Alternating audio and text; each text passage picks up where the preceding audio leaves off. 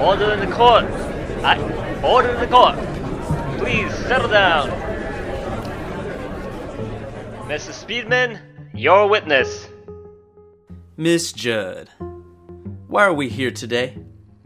Wasting the court's time, Judge Whelan's time, the entire justice system's time. But that's not what I'm doing. Sure you are, Miss Judd. You are already a convicted woman. We all know the story. The blonde butcher, the velvet tigress. It happened little over a year ago. I think it would still be fresh for you, but allow me to refresh your memory. October 16th, 1931. You had plans to spend the weekend with your close friends from your job at the clinic.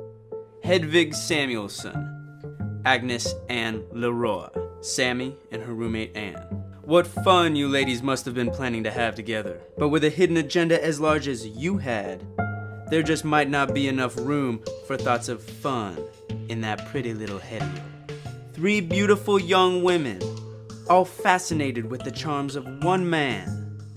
This man. Uh, John Halloran, or Happy Jack, as many know him. And why shouldn't he be? He's a prominent businessman with the respect and admiration of his community, a real friend to Phoenix, Arizona.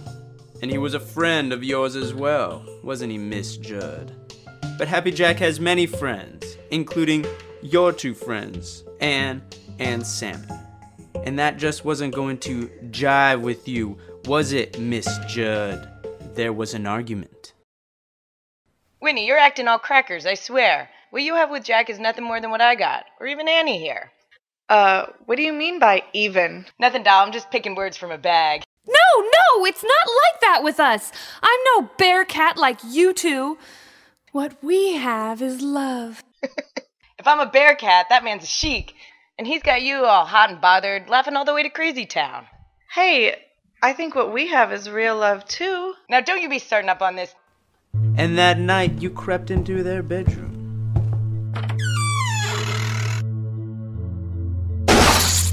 Winnie, what did you do? Same thing I'm doing to you. but that's not how it happened. The next day, your coworkers saw you ferociously typing away. Few noticing the bandage on your hand, but we'll get to that. On the morning of October 19th, you were boarded on the overnight train to Los Angeles with two large suitcases stowed away. Fortunately, the luggage handler on duty that morning has been such for six years and is somewhat of a luggage expert. And there was most certainly something odd about these particular items. Hmm. Mr. Stevenson, there is something mystical about these bags here. Oh yeah, bag boy? In what way? In the smell. It smells like dragon birthing. Jesus Christ! Good morning, gentlemen. Uh, I'm here to pick up my bags. Uh, here's my ticket n- uh, with the bag numbers. Thank you. Have a swell day. Ma'am, there appears to be some type of spoiled food or game in your case. According to station policy, we must ask you to unlock your case for closer inspection. What? My case? Uh, but I don't. I, I don't have the keys with me. Well, ma'am, we would be glad to hold on to these items until you are able to collect the keys in question. And you fled, didn't you, Miss Judd? But that luggage handler was cunning and he knew to contact the Los Angeles Police Department. Uh, yep. We better open it. And what did they find in that first case? The nude corpse of a woman jackknifed into her leather tomb. Oh dear God. No. This, of course, was Agnes Ann LeRoi. If that weren't nightmare inducing enough, they had to continue to the second case. This can't be. Looks like she went and hacked this one up. Of course, it wasn't difficult for Sammy or Anne to be identified. Within each suitcase, there were plenty of photographs and letters implicating these young ladies. Even your own written letter of confession, discovered torn to pieces. this was such a clear cut case of double murder. The noble jury was right to see through your attempt to justify this horror as an act of defense. You even went so far as to shoot your own hand in a feeble attempt to cover your despicable tracks. Really, Miss Judd, this is getting pathetic. But that's not it at all! I'm here today to tell the whole truth. I'm going to be hanged for something Jack Halloran is responsible for. I was convicted of murder, but I shot in self defense. Jack Halloran removed every bit of evidence. He is responsible for me going through all of this. He is guilty of anything I am guilty of. What? Come on, this broad is crazy. This is how it happened. They invited me over that night to play bridge. It was me, and Sammy, and another girl, Portia. But the other girl left early, and it was those two who went off the deep end that night. Winnie, what the hell was Portia saying about you introducing her to Happy Jack? Don't you know that girl's being treated for syphilis? Are you trying to kill him or something? But we were just making friends, honest! You lame brain. It's bad enough you're the biggest slut at work, but you gotta bring in more to do him in? Yeah, well, everyone at work thinks you two are a pair of lesbian perverts. Huh? Well, maybe everyone at work to hear how you have a dying husband in Los Angeles while you're here spreading your gams for Happy Jack. That'd be a juicy story for sure. You tell him that, and I'll tell Dr. Summers how you're the one that broke his x ray machine, Anne, and how you did it on purpose in a stupid hissy fit. There was only so fast I could go driving my friends away, so I went to the kitchen to wash my milk cups. I didn't even see Sammy coming. You stupid. Ow! Ah, Oh, God!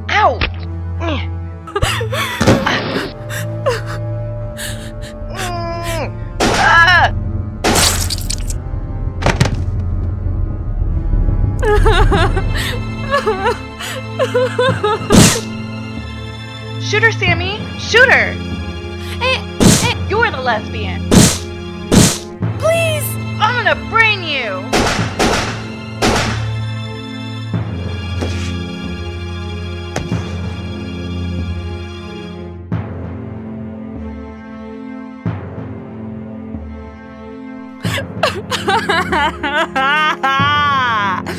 Yes, yes. This is all very interesting, and we've heard these tales of fancy before. Wait, I'm not finished. I'm telling the whole truth. Because that's when I ran into Jack.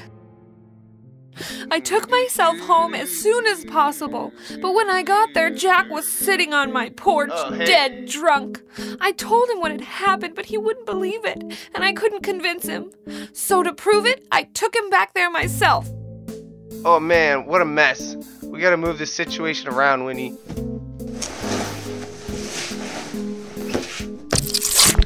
Oh, yikes.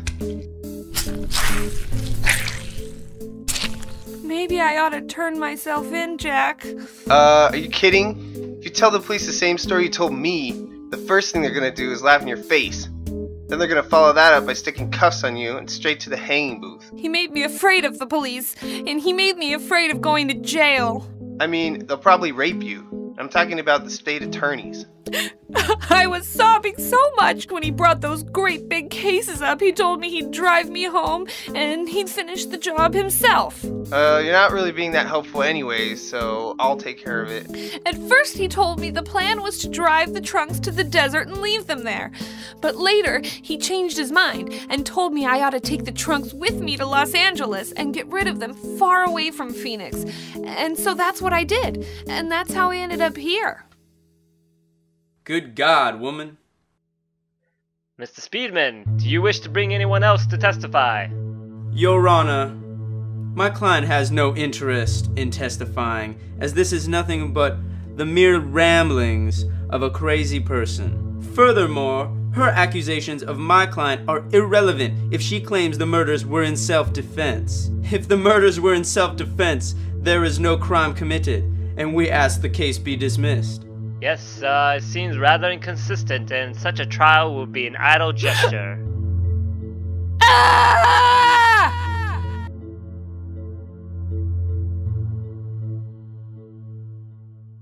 Gee whiz, So, then what happened, Happy Jack? Well, if that broad was trying to play up that insanity defense with that crazy speech, it worked. They took her off to death row and instead sent her to the nutty bin. The way I hear her, malingering dried up pretty soon in there. She escaped like five or six times, but they kept sticking her back in. One time she escaped for six years and was working as a maid in San Francisco, but they caught her again and now she's back in there. God damn. That's a hell of a story, Jack. Crazy broad. But she had heart, I'll give her that.